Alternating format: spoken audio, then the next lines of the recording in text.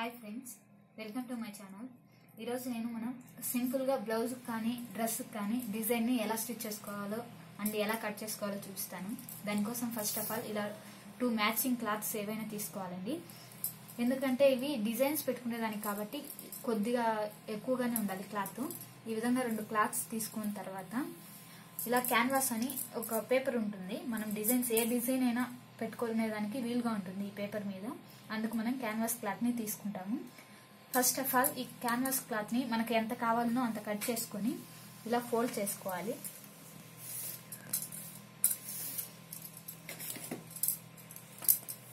ఇలా ఫోల్డ్ చేసుకున్న తర్వాత మామూలుగా మనం డ్రెస్ కావచ్చు బ్లౌజ్ కావచ్చు ఎంత లెంత్ అయితే మనం నెక్ లెంత్ ఇవి ఎలా తీసుకుంటామో అవి చూడండి. ఫస్ట్ ఎలా మెజర్ చేసుకోవాలనేది. మామూలుగా షోల్డర్ ఫైవ్ తీసుకుంటాం కదండి. అంతా రాదు కాబట్టి షో షోల్డర్ మొత్తం రాదు కాబట్టి మనకు డిజైన్ అనేది కొద్ది కొద్దిగా వరకే వస్తుంది. కాబట్టి ఒక ఫోర్ అండ్ హాఫ్ ఇలా మార్క్ చేసుకోవాలి. ఇలా మార్క్ చేసుకున్న తర్వాత నెక్ వచ్చేసి మనకు ఎంత డిస్టెన్స్లో కావాలో two inches or two and half inches అనేది మార్క్ చేసుకోవాలి. అదే ఈ నెక్ లెంత్ని మార్క్ చేసుకోవాలి. అది ఎలా అంటే ఇక్కడి నుంచి ఇలా five and half inches or six inches అంటే కొంచెం కిందగా వస్తుంది కాబట్టి ఫైవ్ అండ్ హాఫ్ ఇలా మార్క్ చేసుకోవాలి. ఇలా మార్క్ చేసుకున్న తర్వాత ఇలా లైన్స్ని డ్రా చేసుకోవాలి దీని మీద.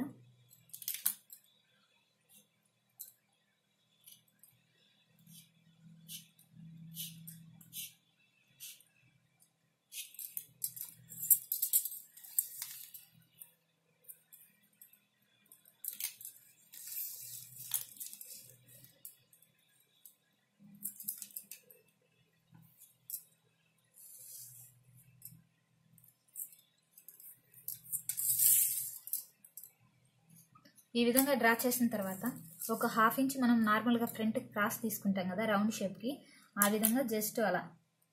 ఒక హాఫ్ ఇంచ్కి ఒక చిన్న డాట్ పెట్టుకొని. ఇప్పుడు ఏ డిజైన్ అయినా మనం ఇందులో డ్రా చేసుకోవచ్చండి. ఫస్ట్ ఆఫ్ ఆల్ సింపుల్గా చూపిస్తాను చూడండి.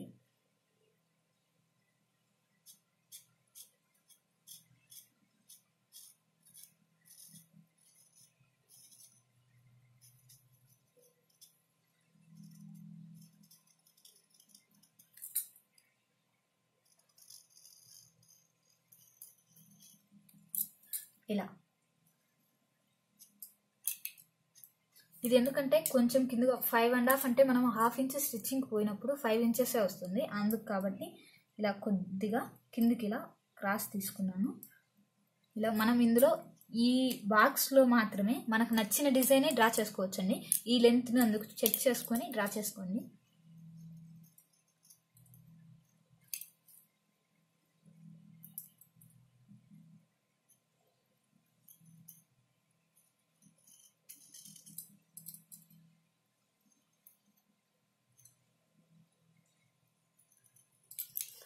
ఈ విధంగా డ్రా చేసుకున్న తర్వాత ఫస్ట్ ఆఫ్ ఆల్ మనం ఏం చేయాలంటే ఇలా డ్రా చేసుకున్న తర్వాత ఈ లెంత్ అనేది ఇక్కడి నుంచి ఇక్కడికి మనం కట్ చేసుకునే దగ్గర వచ్చేసి వన్ ఇంచ్ మామూలుగా మనం స్టిచ్చింగ్ తర్వాత వస్తుంది. ఆ స్టిచ్చింగ్కి అవతల ఒక కాలించు యువతల ఒక కాలించు మనం వదిలిపెట్టాలి కాబట్టి one and half inch measurement తీసుకోవాలి చూడండి. ఎక్కడి నుంచి అయితే మనం డ్రా చేసుకున్నామో అక్కడి నుంచి ఒక వన్ అండ్ హాఫ్ ఇంచ్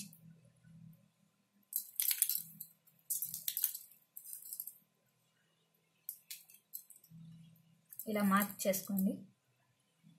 అది క్రాస్గా ఉంటే అలాగే క్రాస్గా పెట్టి జస్ట్ అలా మార్క్ చేసుకోవాలి.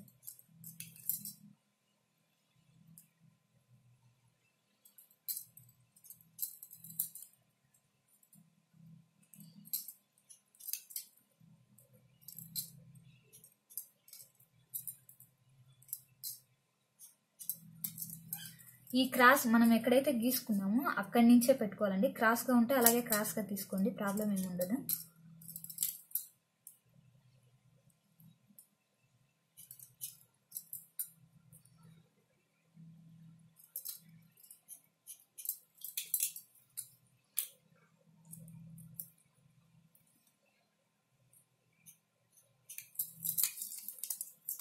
ఇలా తీసుకున్న తర్వాత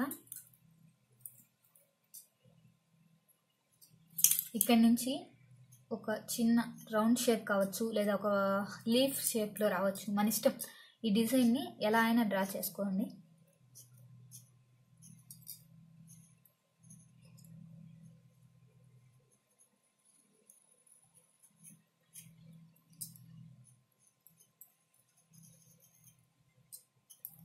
అదేవిధంగా మనం ముందుగా మార్కింగ్ చేసుకుని ఉంటాం కదా వాటిని ఇలా డ్రా చేసుకోండి.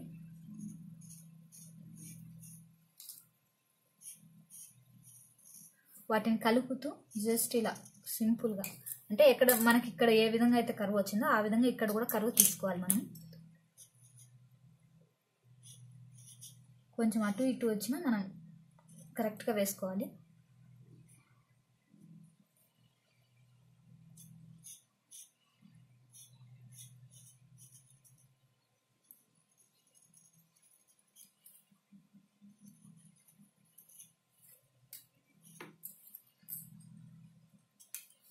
ఈ విధంగా డ్రా చేసుకున్న తర్వాత మనం దీన్ని కట్ చేసుకుందాం.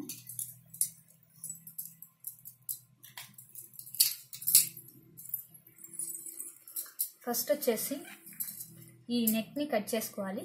ఇది కట్ చేసుకునేటప్పుడు జస్ట్ ఒక కాలించి ఫ్రంట్ వదిలిపెట్టే కట్ చేసుకోండి. ఎందుకంటే మనం స్టిచ్చింగ్ తర్వాత కావచ్చు లేదా తర్వాతైనా కట్ చేసుకోవచ్చు. అందుకు మనం డ్రా చేసుకున్న దానికన్నా కొద్దిగా ముందుగానే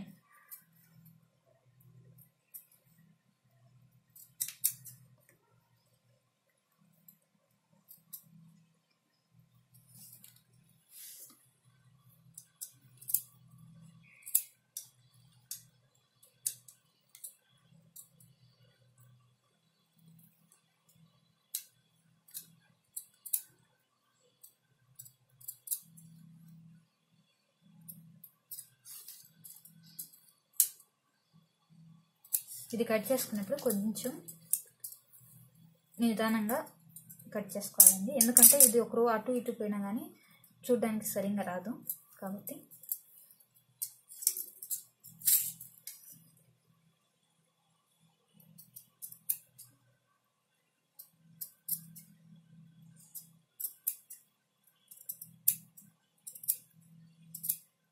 ఇలా మనం డ్రా చేసుకున్న దానికన్నా జస్ట్ కొద్దిగా అవతలనే కట్ చేసుకోవాలి.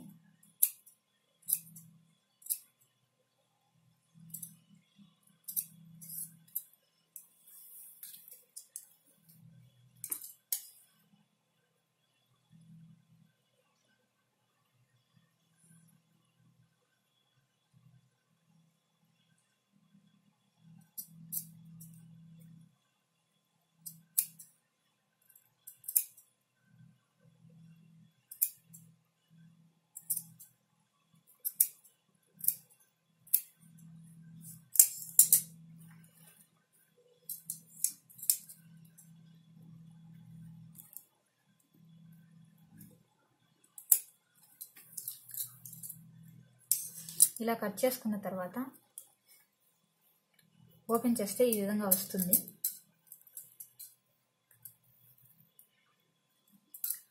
ఇప్పుడు మనం దీన్ని ఏ విధంగా క్లాత్ని మనం స్టిచ్ చేసుకోవాలి అంటే మనం తీసుకున్న ముందుగా తీసుకున్న క్లాత్ ఉంటుంది కదా ఈ విధంగా ఎన్ని డిజైన్స్ అయినా మనం కట్ చేసుకోవచ్చు అండి కావాలంటే చూడండి ఇంకా ఎక్స్ట్రా చూపిస్తాను కొన్ని క్లాత్స్ ఈ విధంగా కట్ చేసుకోవచ్చు. సేమ్. అదే ప్రాసెస్ మొత్తం. మనం ఎన్ని డిజైన్స్ అయినా కానీ ఈ విధంగా కట్ చేసుకొని మనం క్లాత్ని మళ్ళీ స్టిచ్ చేసుకున్న తర్వాత తర్వాత స్టిచ్ చేసుకోవచ్చండి. కాబట్టి ఈ విధంగా కట్ చేసుకోవాలి. ఇలా కట్ చేసుకున్న తర్వాత మనం తీసుకున్న క్లాత్ ఉంటుంది కదండి.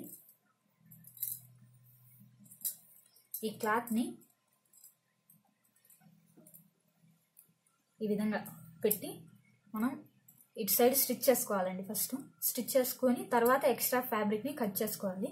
కాబట్టి దానికోసం మనం ఈ క్లాత్ని ఇక్కడి వరకు కట్ చేసుకొని రిమూవ్ చేసుకుందాం.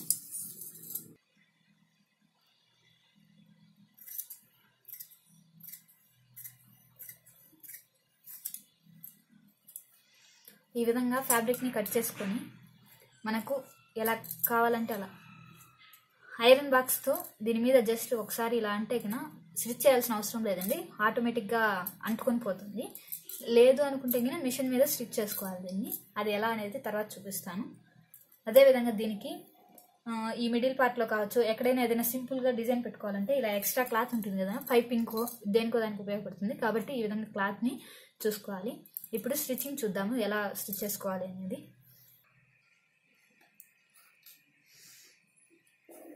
ఈ విధంగా కట్ చేసుకున్న తర్వాత ఫస్ట్ ఆఫ్ ఆల్ ఇక్కడ నుంచి ఈ విధంగా మనం స్టిచ్ చేయాలి. చూడండి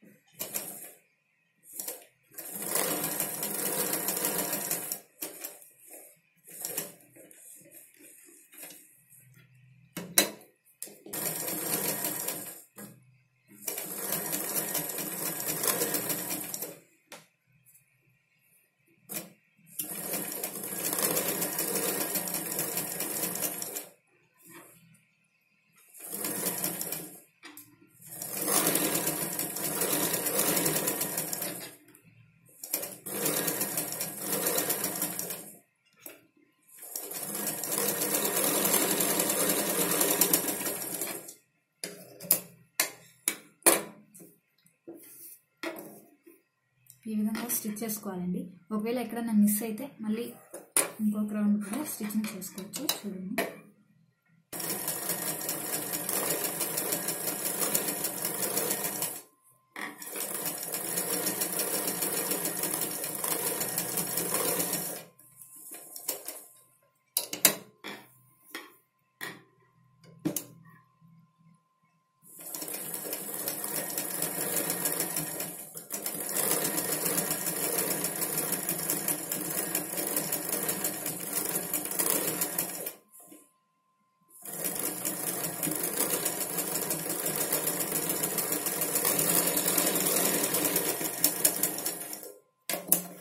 ఈ విధంగా స్టిచ్చింగ్ చేసుకున్న తర్వాత మిడిల్లో ఉండే ఎక్స్ట్రా క్లాత్ని కట్ చేయాలి. కొద్దిగా క్లాత్ను ఉంచుకునే కట్ చేసుకోవచ్చు. ప్రాబ్లం ఏం లేదు.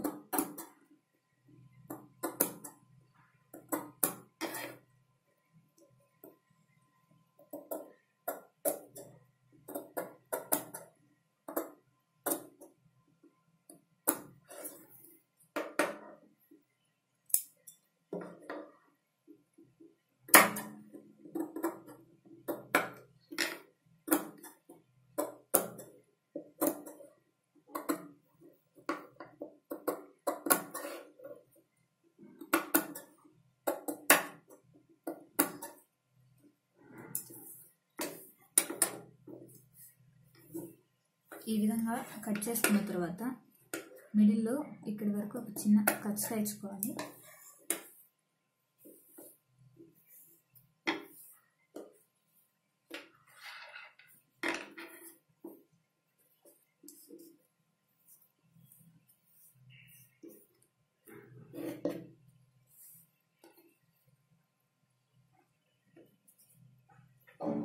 అదేవిధంగా ఇంకొక సైడ్ ఉంటుంది కదా అటు సైడ్ కానీ స్టిచ్చింగ్ చేయాలి.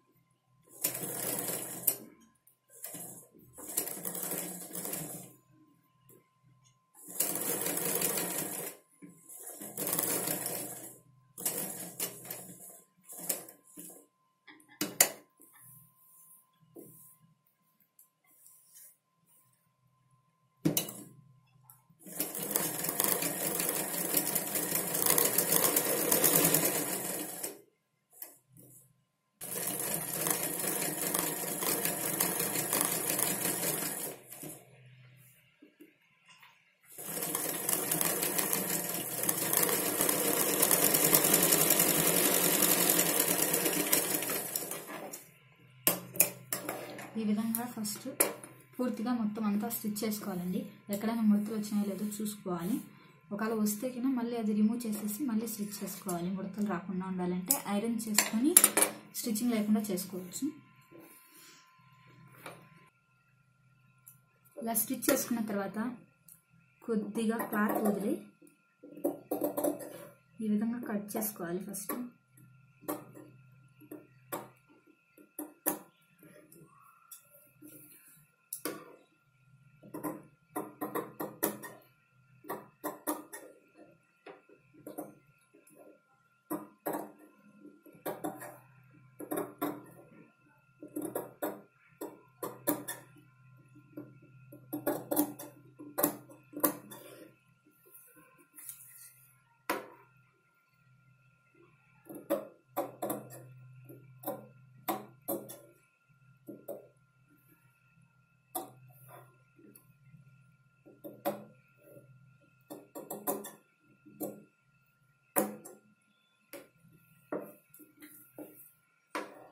అదేవిధంగా ఇటు సైడ్ క్లాత్ని కూడా కొద్దిగా ఉంచుకొని కట్ చేసుకోవాలని. ఎందుకంటే ఒకవేళ ఎక్కడైనా క్లాత్ సరిపోకపోయినా ఏదైనా ప్రాబ్లం వచ్చినా అలా ఉంచుకోవడం వల్ల కొంచెం యూజ్ అవుతుంది.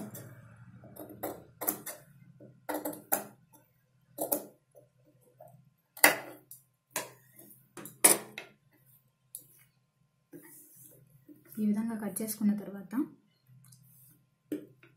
ఫస్ట్ ఆఫ్ ఆల్ దీనికి ఈ మిడిల్లో ఏవైనా మనం డిజైన్ని సెట్ చేసుకోవాలి అంటే వేసుకోవచ్చు. చూడండి చూపిస్తాను ఇది కూడా.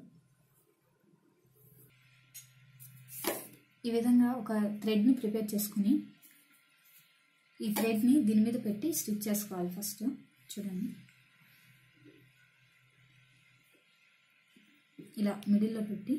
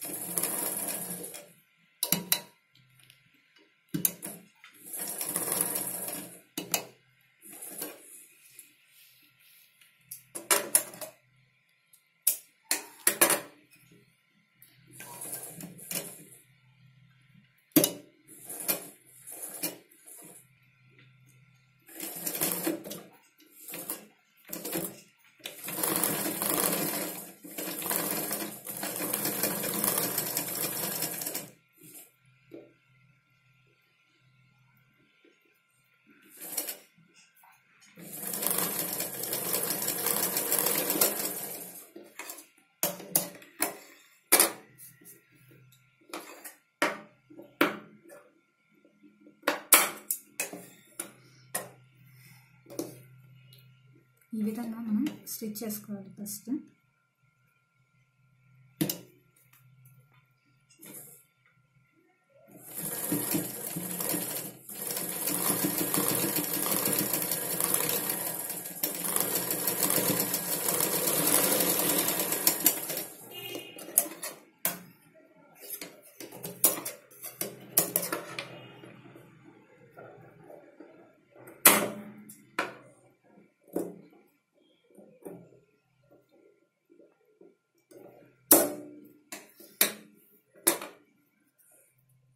ఇలా స్టిచ్ చేసుకున్న తర్వాత రిమైనింగ్ కూడా ఇలాగే చిన్నగా.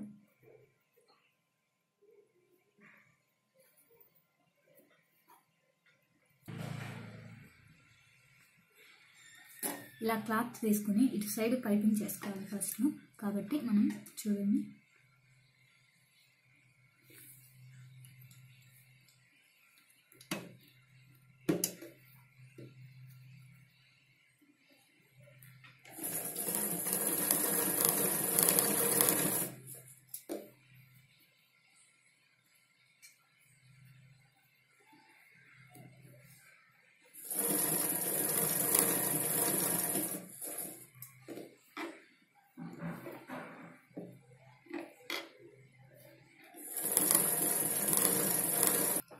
పైపింగ్ క్లాత్ ఇలా వేసుకున్న తర్వాత అక్కడక్కడ చిన్న చిన్న కచకాలు ఇచ్చుకోవాలి. ఎందుకంటే ఫోల్డింగ్కి ఈజీగా ఉంటుంది లేకపోతే కొద్దిగా టఫ్గా అనిపిస్తుంది. చాలా రౌండింగ్స్ ఉన్నాయి కాబట్టి ఇలా.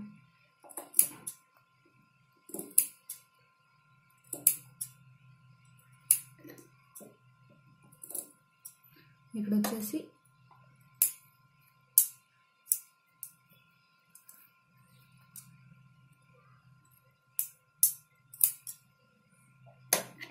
ఇలా మొత్తం అన్ని సైడ్స్ కూడా రౌండింగ్స్ కోసం వచ్చి ఇలా కట్ చేసుకొని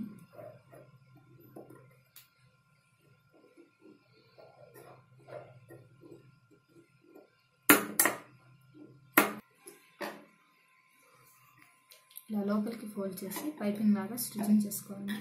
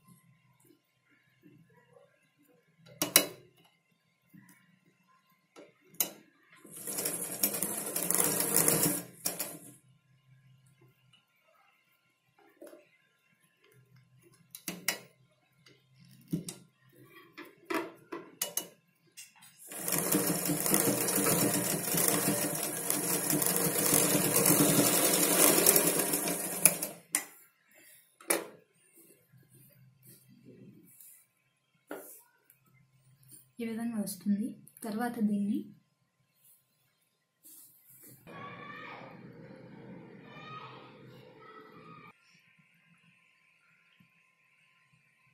ఈ విధంగా మనం సింపుల్గా డిజైన్ని స్టిచ్ చేసుకోవచ్చు. మా వీడియో మీకు నచ్చినట్టయితే లైక్ చేయండి షేర్ చేయండి. మరిన్ని అప్డేట్స్ కోసం మా ఛానల్ని సబ్స్క్రైబ్ చేసుకోండి. Thanks for watching my video.